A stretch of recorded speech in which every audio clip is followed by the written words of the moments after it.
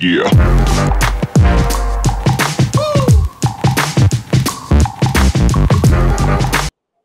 Pois é, cara. É, começou, né? Então, para quem não teve a oportunidade de acompanhar um pouquinho da cronologia, começou com final do jogo de domingo passado, em que rapidamente, no próprio domingo à noite, o presidente do Nova Iguaçu e o Vasco já tinham definido que o jogo seria no Maracanã, isso no próprio domingo, né? Ressaltando a linha do tempo. E aí, na segunda-feira, já cedo, o presidente do Nova Iguaçu formalizou a solicitação para o consórcio é, para que o jogo de domingo acontecesse no Maracanã. Isso na segunda-feira.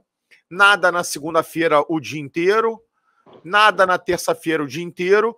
E ontem, ao meio-dia, que era praticamente aí o deadline, o limite de quando deveria se, se definir o local do jogo, com a Ferge já é, apertando o Nova Iguaçu para que definisse qual seria o local. A Ferge numa oportuna é, passividade? Não sei, estou levantando a bola.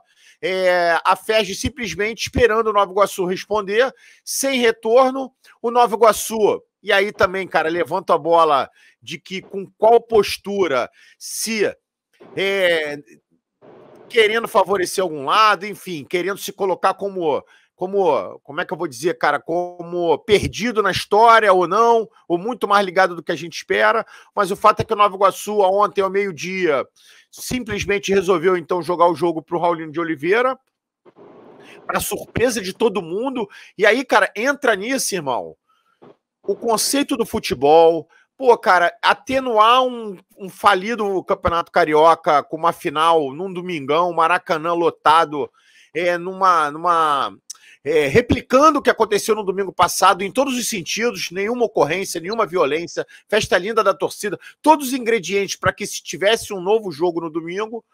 E aí, inexplicavelmente, ninguém respondeu. Nova Iguaçu teve que oficializar o jogo para o Raulinho de Oliveira. E aí começou a se suceder tudo que eu acho que se tornou mais midiático, né? Que é um torcedor do Vasco indo lá no, no, no, no, no Instagram do governador, e aí começou a história, né? Deixar você pontuar em mais algumas coisas para a gente seguir é, nessa. Então, na, na, verdade, cara, olha só, vamos lá. Qual é a minha leitura disso tudo aí? Que eu acho que deve ser a leitura da maioria. Na verdade, é um teatrinho com, com quatro, cinco atores, né? E aí eu vou, eu vou, eu vou conjecturar da seguinte forma: cada time é um ator, né? Aí tem o Patati e o Patatá, que são dois atores de comédia. Além do Patati e do Patatá, a gente tem o, o governador, que é mais um ator nessa história toda. Olha o Léo aí, ó.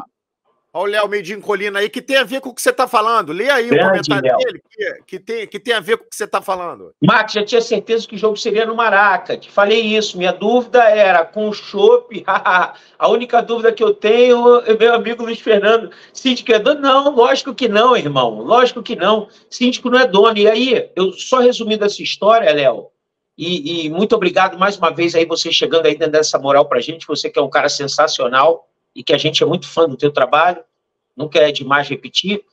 Então, então os caras, é um teatrinho ridículo, né? Que tem Patati, Patatá, o governador, o Rubinho e o Novo Iguaçu. Todos no mesmo, na mesma representação, todos no, na, na mesma esquete. E aí, quando a torcida do Vasco começa a, a, a atirar para tudo quanto é lado, o governador ele tem muito a perder por conta de político precisa de votos, então ele tem muito a perder. Obviamente que ele ficou arranhado com isso, mas como o, o eu sempre falo isso, né? Como, como de um modo geral o povo é muito raso, daqui a pouquinho já esqueceram e está tudo certo também. E também não se deve misturar, vamos dar a César o que é de César, não se deve misturar voto com o time de futebol. Aí também seria o fim do mundo. Mas já que a gente está conjecturando tudo, daqui a pouco o povo esquece, então ele deu um passo atrás. O Rubinho com medo, com medo também de retaliação. Ele pediu uma entrevista lá no, na Rádio Tupi, né? É, com, no programa do Apolinho, para poder justificar que a federação não tinha culpa de nada. Quer dizer, ficou o governador dizendo que não tinha culpa de nada, o, o, o o presidente da federação dizendo que não tinha culpa de nada, patati patatá, é, ficaram quietos, quietos, né? E o, e o Nova Iguaçu, esse sim, ele poderia ser o fiel da balança e voltar atrás, foi o que aconteceu.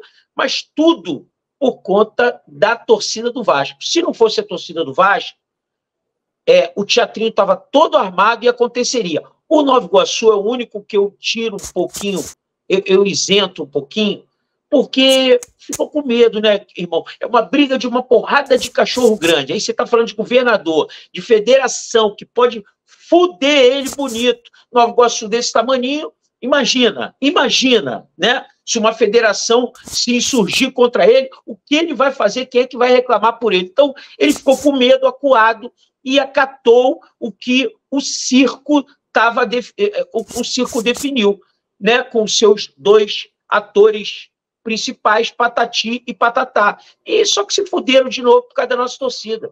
Para mim, o resumo da ópera é esse. Quer um delivery de qualidade no conforto da sua casa?